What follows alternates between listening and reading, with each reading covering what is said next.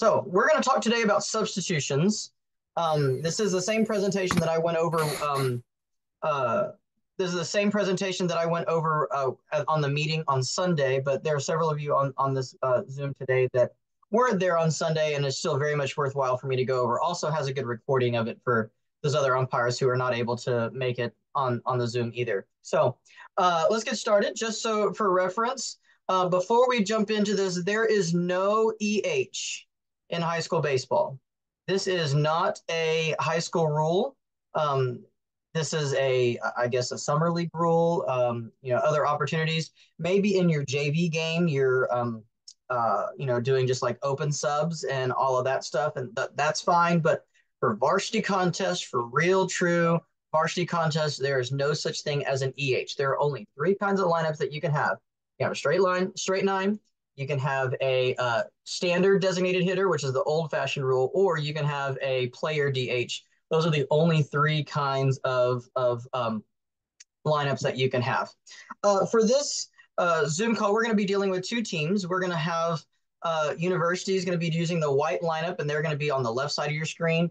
Uh, Gerald is going to be using the, the light blue lineup, and they're going to be on the right side of your screen. And we're just going to go through a system of substitutions that would uh, take place in a ball game.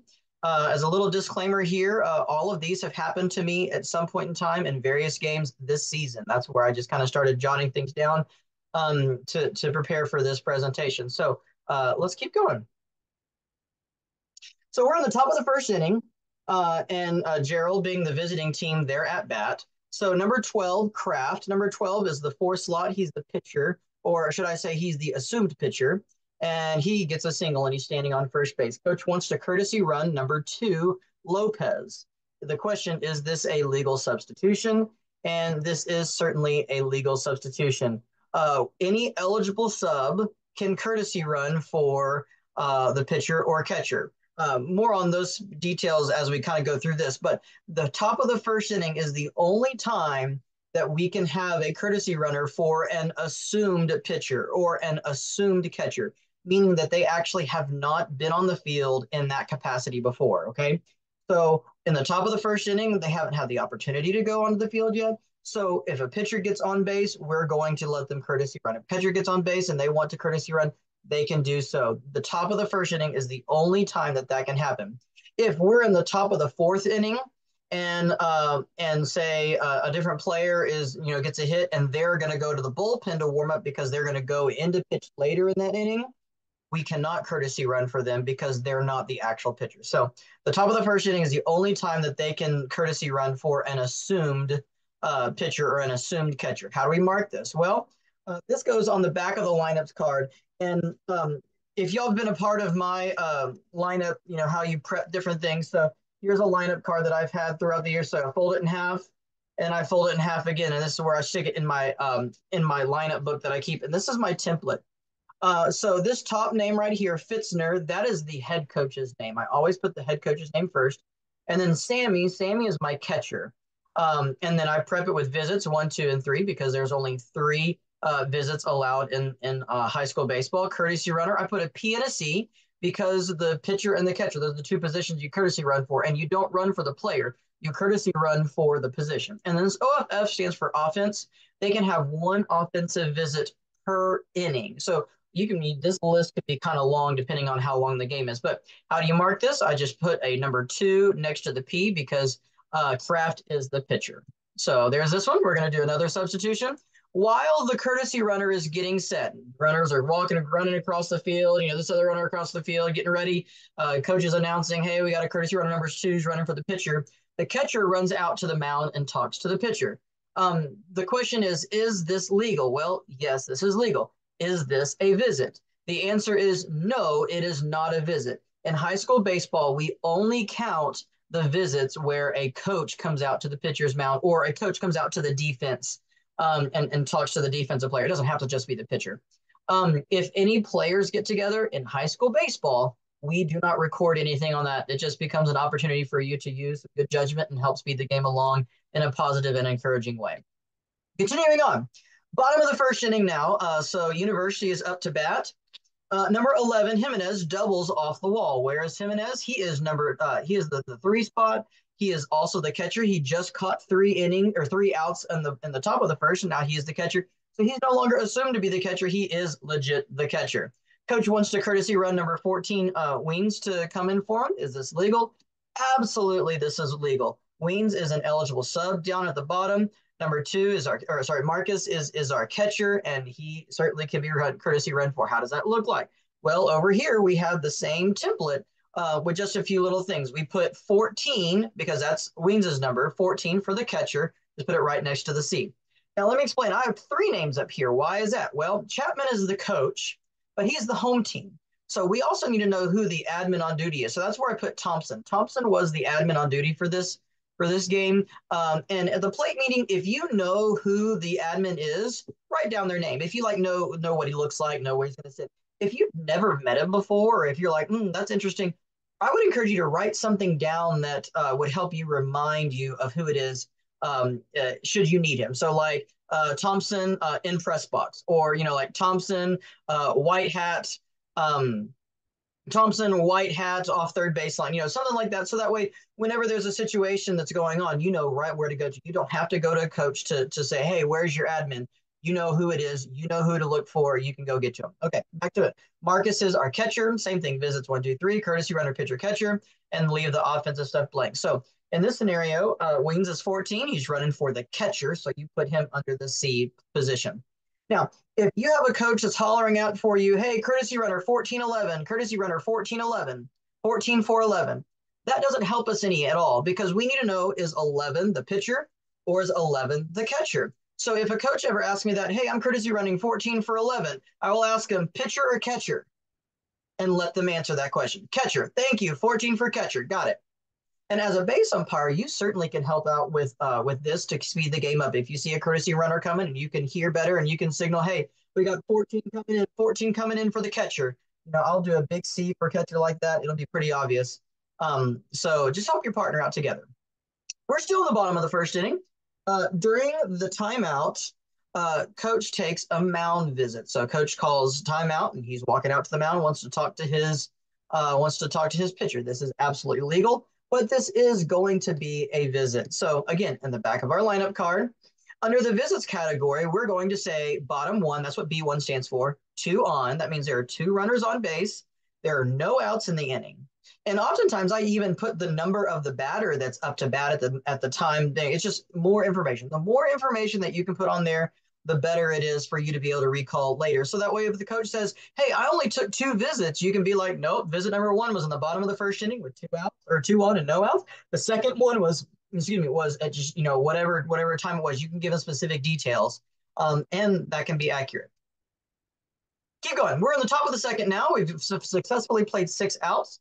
Number 10, Schwertner draws a walk. Okay, so where is Schwertner on our lineup? Well, he is the designated hitter. Notice that uh, Tynert is the fielder and he's on this side of the lineup, and Schwertner is the hitter and he's on this side of the lineup. Sometimes coaches write the DH over on this side and the player on this side. Sometimes the coaches write the player and the DH, just like what it is. It doesn't really matter which side of the lineup it is on because both players are locked into that seventh spot of the lineup. It's just really important that you make sure you know who is the hitter and who is the defensive player. That's one thing that you need to make sure that you clarify, and so you are. So coach is going to now sub in number 27, Epperson, to pinch run. Is this legal? Absolutely, this is legal. This is an eligible substitute. You have a starter that's going to come out of the game. You have an eligible sub that's going to go into the game. And this is how I were to mark that. So Schwertner is going to come out. So anybody that has been taken out of the game I am going to circle. And yes, this is in red because I actually use a red pen. I would highly suggest you using a red pen or at least a different color other than black. So that way your markings can show up a little better. So circle Schwertner. And then you're also going to circle Epperson because he's no longer an eligible substitute. He's coming into the game. And then you can write number 27, Epperson, right underneath there. So Epperson is now acting as the designated hitter. Even though he's running, he's a substitute. So he is his position is the designated hitter. Tynert is still in the game as the fielder. This is legal. Going to the bottom of the second now, uh, number 16, Manny Sanchez singles. And if you look over the lineup, now we have a different scenario. We're using the other DH. This is the player designated hitter rule. Sanchez, when he's on off, or sorry, when he's on defense, is the pitcher. That's position number one. When he's on offense, he's acting as the designated hitter. So in this scenario, number 16, Sanchez singles. Coach wants to courtesy run number 13, Rodriguez. Is 13 Rodriguez an eligible sub? Yes, he is. But is this a legal substitution?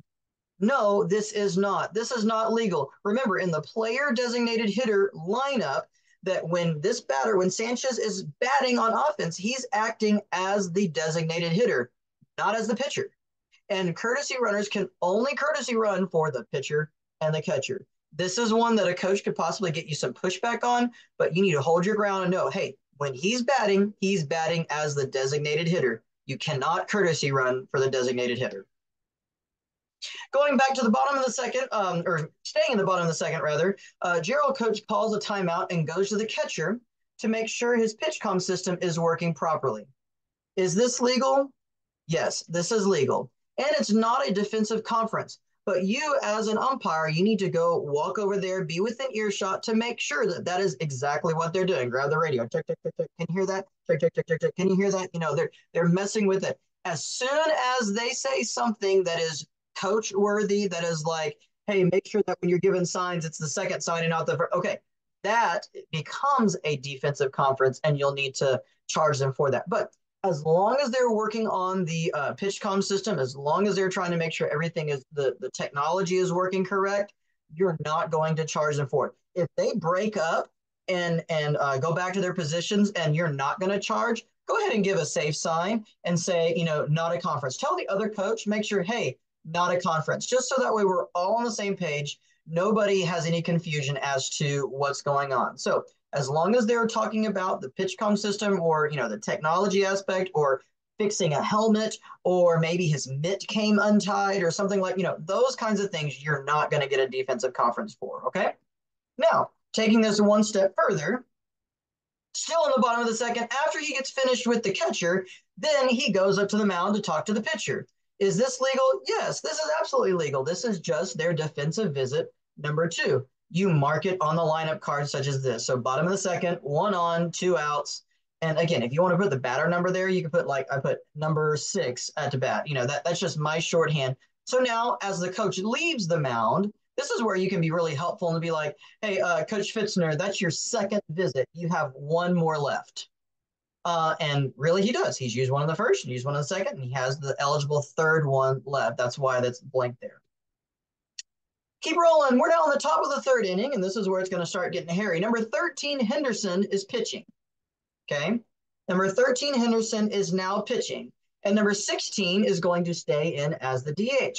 So Coach Chapman runs out to us and says, Hey, three or three is entering to pitch, three for 16, three for 16 we need to take a moment and make sure that coaches are really telling us what they're really wanting. So take your lineup card. Oh, 16 is my player DH. Three is coming in. Wait, hey, Coach Chapman, do you want 16 to stay in the game as the designated hitter? Yeah, that's what I'm trying to say. Three is coming into pitch, 16 is now my designated hitter. Okay, great, good deal. Reason that we need to clarify that because if he substitutes three for 16 completely, then the designated hitter's done and you go to a straight nine lineup. You can't go, um, you can't ever have a substitution for the uh, player DH in this scenario. More on that to come. So really make sure that you specify to these coaches and, and with the coaches what they're wanting. Okay, so we're going to have number three, Henderson, come in the game, and 16 is going to stay in the game as the designated hitter. So this is certainly legal, and this is how I'm going to write it, okay? I actually take my red pen and I'm going to draw an arrow over there where Sanchez is, and I'm going to rewrite Sanchez's name because now I need to separate instead of having you know one spot on line. Now I need to separate them on two because Sanchez is my designated hitter, and we're about to have another change in there. So three Hernandez is going to come in and be in this spot. Whoop. And one other thing that I forgot to do on this slide is I actually do circle um, Hernandez down here. Um, just to make sure that everybody knows that, or that my lineup card knows that um, he is uh, no longer an eligible sub and he's actually in the game. So this is what my lineup card would look like after this substitution. I know three has come in the game now defensively. Sanchez is staying in as my designated hit. Top of the third inning, continuing. Number 12, Kraft, again, gets a hit. Kraft is our pitcher. uh, coach wants to have number 24, Fallon, enter as a courtesy runner. Is this legal?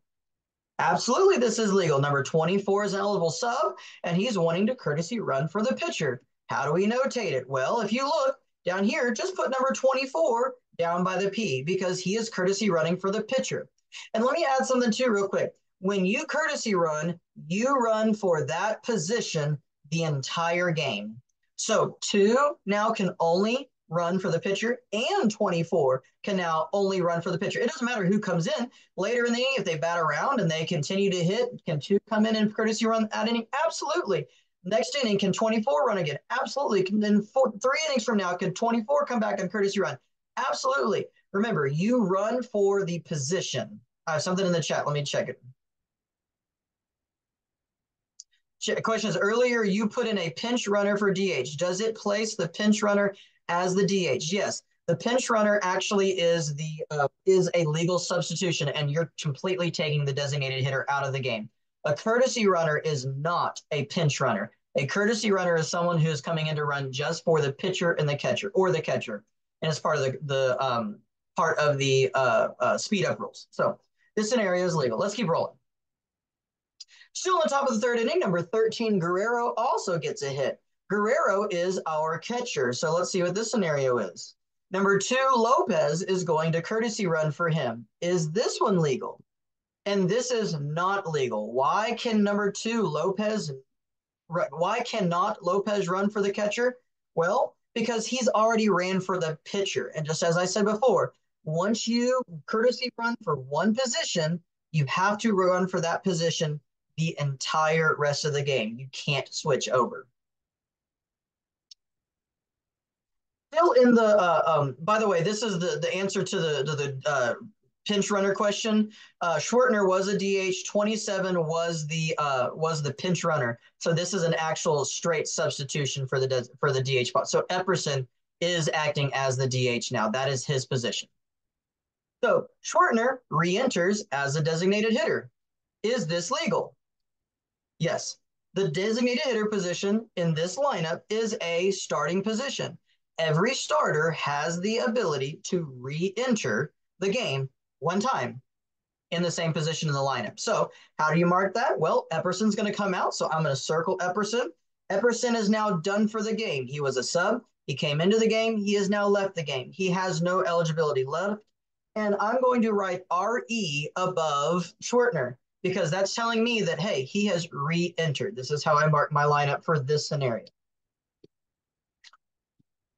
Continuing on to the bottom of the third, number 20, Escobar is going to sub in for number 14, Tynert. Tynert is the defensive player of the uh, DH spot, which is this legal? Absolutely, you can. So how are we going to mark it? Mark it. Escobar is going to be circled down the bottom because he's coming into the game. Tynert is coming out of the game, and you need to put 14 Escobar in there. So just continuing to read that seven spot on the lineup, 14 Escobar, he is the defensive player. Schwartner, who has re-entered the game, he is the designated hitter. All of these people are locked in to the seventh spot of the lineup. Now to the bottom of the third. Let's get even crazier. Number 10, Gollier is going to sub in for number eight, Sice. Is this legal? Yes, this is again just a straight substitution, one for one. Hey, uh, uh umpire, uh, or hey, Caleb, hey, number 10, Gollier is going to hit for Sice, uh, eight for 10. Great, thank you so much. How do you mark it? Circle number 10 down the bottom, circle number eight in the top, and put number 10 in the game. That's simple, just straightforward. Uh, and so you can see everything. Now, we're still in the bottom of the third inning, but now Jimenez uh, is going to get on base. Who's Jimenez? Well, Jimenez is in the three spot. He's our catcher. The coach is going to want to run number eight, Sice, to courtesy run for him. Is this a legal play? Or is this a legal substitution? The answer is no. This is not legal. Why? Because Sice is not an eligible sub. He's been in the game and he has been removed from the game. He is a starter waiting to be re entered or a starter that's eligible for re entry. The only people that are eligible to courtesy run are these guys down at the bottom. So that would be Henderson, uh, Rodriguez, Waynes, or Ramos. Now, Gollier has been in the game, so he no longer is eligible. He can't do that. Okay. So those are the only people that, that can courtesy run. And this is why it's really important for you when a coach says, hey, this is my courtesy runner. Get out your lineup card, triple check, make sure they're an eligible sub, fold it back up, write it down, and move on with your game. Still in the bottom of the third, it's going to get even crazier. Number 16, Sanchez gets a hit. Who is Sanchez? Sanchez is our designated hitter. He uh, gets a hit, but now he appears to be hurt. Number 14, Waynes is going to sub in for him. Is this legal? The answer is yes, but, and this is where we need to pay really close attention, the designated hitter position is now done. That also means that anybody else in that same spot in the lineup is also having to be removed as well because now we're going from a 10 player lineup to a nine player lineup and we have to remove somebody uh, in order for it to be nine players. So this is what it's going to look like. So Waynes is going to come in, Sanchez is coming out, and Hernandez is coming out. And now we put Waynes in. Everything is circled in this spot, so that means the designated hitter is finished. We only have a nine player lineup with Waynes in. Waynes has to now bat for himself. Waynes now also has to field in the field because we only have nine players. This is the cap. This is the part where if we are not well versed in the player designated hitter rule, that we are going to mess this up. We will uh, try to mix the two rules together, and and it's not going to work. This is the one that we need to make sure is on the forefront of our brain anytime that we have the player designated hitter. So just to just to kind of uh, reconfirm what we talked about last time when we were talking about the kinds of lineups, the player DH is finished anytime there's an offensive substitution. And the player DH, the DH is done anytime there is an offensive substitution. Waynes is coming in on offense, and so the designated hitter position is done as well as anybody else in that spot at the time. Bottom of the third, uh, we now have a pitching change. Number 10, Schwartner is going into pitch, which is wonderful. Yay! So our designated hitter, who was an offensive player, is now going to come in and play for himself on the defense. Is this legal? Yes, this is legal. But this is also going to end their DH as well. So how do you mark that? Well, 14 Escobar is going to come out. And I also do something else too. I circle the designated hitter. So that tells me that anything that is circled has been removed from the game. So Tynert's been removed, Escobar's been removed, Epperson's been removed, Schwartner's been removed, the designated hitter's been removed. The only thing that's left is the RE above Schwartner. So this is legal, but now we're down to a nine player lineup. This is where writing very neatly is important and understanding your shorthand is equally as important because if you're not careful, things are going to get mis, uh, mislabeled and misread. Ooh, we got a few more to go. Here we go. Bottom of the three. Coach wants to have number eight, Saish, re-enter the game to bat for number four, Alvarado. So Saish is going to re-enter the game, and he's going to bat for number four. This is going to sound like, hey, Caleb, uh, um, hey, Caleb, number eight's going to re-enter, eight for four. Eight's going to re-enter, eight for four. Is this a legal substitution? And the answer is no, this is not legal if eight if if Saish is going to re-enter the game, he has to re-enter in the same nine spot, nine hole that he's been in already. You cannot change your spot in the batting order. Once you are in the game, you are locked into that position all game long. And this is where, again, get out your lineup card. Actually try to mark the substitution. Because if you just take the coach for his word for it and say, hey, uh, eight for four, eight's re entering eight for four, and you just write on your lineup card, you know, eight for four. Guess what? You let him get away with an illegal substitution. And then the coach is going to come out and say, oh, they batted out of order. Eight should be in the. And then you try to enforce the batting out of order rule, and then you have no idea what's going on. And it, it's, it's something that's just really blown up on you. Get the first thing right. Do not allow the illegal substitution.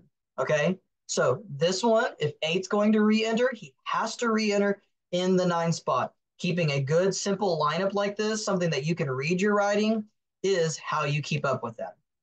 So, kind of in conclusion with where um, with where we are with substitutions, if you don't keep up with the subs, you will make a mistake. But I don't want to keep up with the subs. It's not my job. Well, the rulebook says otherwise. I'm in Rule 10, Section 2. This is titled Umpire in Chief. I'm Article 1. This is letter J. Uh, uh, the umpire in chief must keep a written record of defensive or offensive team charge conferences for each team and notify the respective coach each time a conference is charged to the, to the coach's team. The umpire in chief shall also be responsible for keeping a lineup card and recording all substitutes, courtesy runner participation, and warnings. So it is your job as the umpire in chief or as plate umpire to keep a lineup card and to keep up with these things. That is required. Also, you need to come up with your own version of shorthand and be consistent with it. This is what I use. This is my method, and it works for me. I've I've tailored it over several years, and it's just kind of become the way that I do it. I can pick up a stack of lineup cards that I have right here on my desk. You know, a stack of lineup cards that I have just you know from all the different games I've done, and I can read what's happened in them. I can give you a synopsis of what happened when because I have a shorthand and I can read the substitution time. Marked them. I even marked what inning they subs in. Um, that was just another step that I didn't think that was uh, applicable for right now. But any substitution that I get nowadays, um, I mark it. You know, like I circle it, mark 18, and I'll actually put the inning that the sub happens, like bottom four. And so that way, even more details, more information that I can write um, so that way, you know, should I need to access my lineup cards again in the future, that um, they're there for me. But you need to come up with your shorthand. If you want to use mine, great. If you want to use mine and change a few things, great. But figure something out so that way you can know what you're talking about and then you need to be consistent with it. Every game, every substitution, every mound visit, every courtesy runner, every single time, do it. And lastly, communicate, communicate, communicate communicate with your partner, communicate with the coaches, communicate with the press box, communicate all of the things. Don't ever assume that people know what is going on. If you assume something knows what's going on, it leads to other things like ejections and confusions and other mistakes. So when substitutes happen, make sure that you communicate, communicate.